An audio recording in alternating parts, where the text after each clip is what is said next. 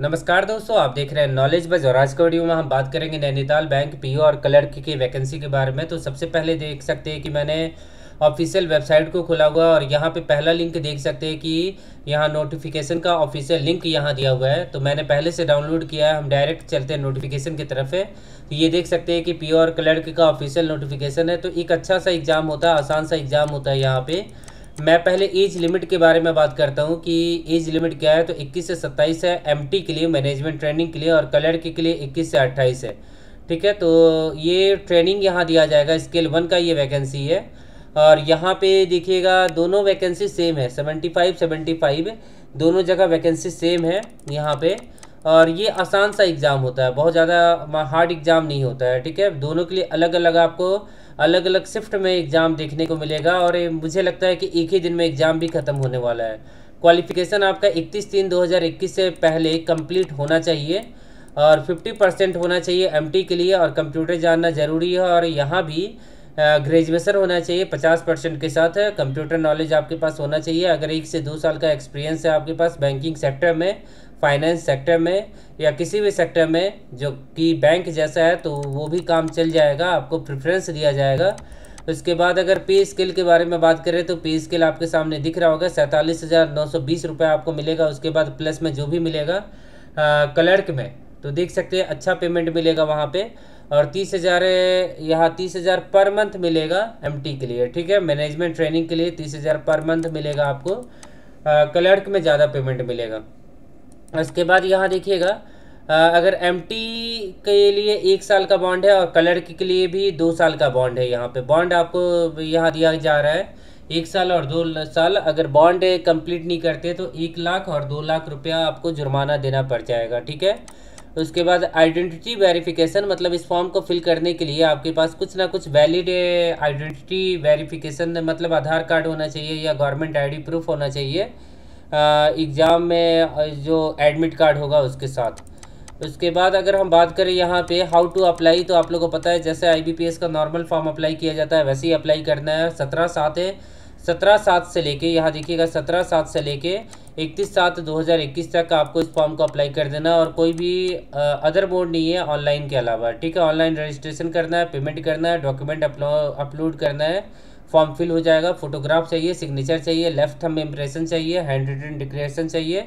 और डिक्लेरेशन में क्या लिखना है? यहाँ पे लिखा हुआ है, ठीक है? डिक्लेरेशन में क्या लिखना है? सेम वही चीज़ है जो आईबीपीएस के फॉर्म में लिखना होता है, वही चीज़ यहाँ भी लिखना है, ठीक है? कुछ अलग नहीं है यहाँ पे। फोटोग्राफ वही बीस से से पचास के भी चाहिए। तो इस चीज़ का आप ध्यान दीजिएगा। फ़ी आपका नॉन रिफंडेबल है, सत्रह सात से लेके इकतीस से सात दो हज़ार इक्कीस तक की केवल चौदह दिन का समय दिया जा रहा है। फॉर्म का जो दाम है सभी कैटेगरी के लिए पंद्रह सौ रुपये मतलब एम टी के लिए भी पंद्रह सौ रुपये और कलर की के लिए भी पंद्रह सौ रुपये ठीक है? दोनों के लिए पंद्रह सौ रुपये और अप्लीकेशन रजिस्ट्रेशन हो जाएगा यहाँ पे देखिएगा। ये ऑफिशियल वेबसाइट है, Nainital bank co dot in और मैं लिंक आपको दे दूँगा। जहाँ इस फॉर्म का ऑफिशियल लिंक आपको दे दूँगा। और नोटिफिकेशन आपको टेलीग्राम पे शेयर कर दूँगा, वहाँ पे जाके आप लोग अच्छे से देख लीजिएगा।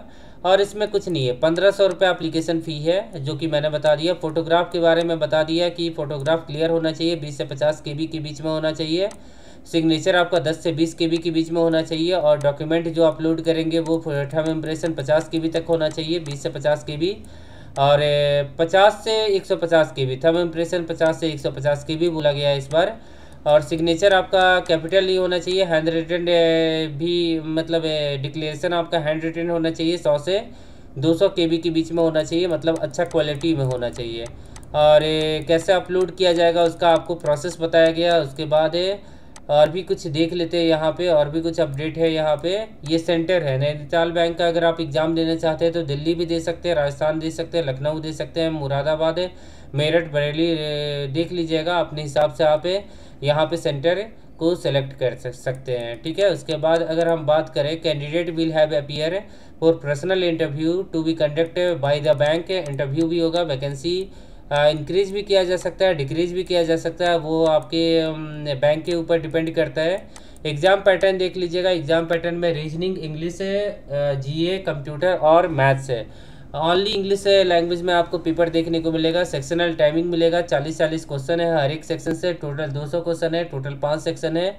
मैथ्स के लिए पैंतीस मिनट, रीजनिंग के लिए भी पैंतीस मिनट ही मिलेगा, इंग्लिश के लिए भी पैंतीस मिनट ही मिलेगा, जीए के लिए बीस मिनट और कंप्यूटर के लिए बीस मिनट, जो कि मुझे लगता है सफिशियंट है, क्योंकि क्वेश्चन का लेवल ठीक ठाक रहेगा, ज़्यादा हार्ड नहीं रहेगा। Negative marking one by four है यहाँ पे ऑप्शन पाँच रहेंगे, एक क्वेश्चन के पाँच ऑप्शन रहेंगे। और ऑब्जेक्टिव क्वेश्चन आप लोगों को पता ही कि पूछा जाएगा, और यहाँ पे और कुछ तो है नहीं यहाँ पे बायोमेट्रिक लिया जाएगा एग्ज़ाम के टाइम ठीक है, उसके बाद और यहाँ पे और कुछ नहीं है शायद, ठीक है?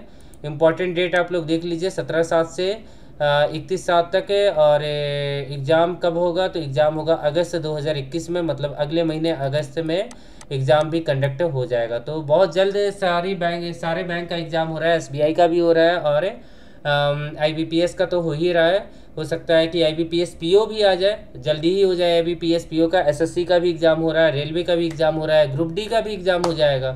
तो सारे एग्ज़ाम अब होने, हो ही रहे हैं, ठीक है ना? तो आपके पास टाइम बहुत कम है, तैयारी स्टार्ट कर दीजिए, नहीं तो बाद में प्रॉब्लम हो सकता है। कटअप पे भी कोशिश करूँगा कि वीडियो प्रोवाइड करवा दूँ आप लोग को, और किसी भी टॉपिक पर आप लोग को वीडियो चाहिए होगा तो कमेंट करके आप लोग बताइएगा। वीडियो अच्छा लगा हो तो वीडियो आपको लाइक करके, चैनल को प्लीज़ सब्सक्राइब करके हमें सपोर्ट कीजिएगा। थैंक यू, अपने वीडियो अंत तक देखा थैंक यू।